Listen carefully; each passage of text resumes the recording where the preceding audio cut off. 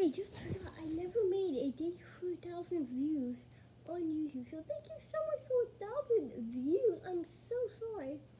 So yeah. I'm sorry.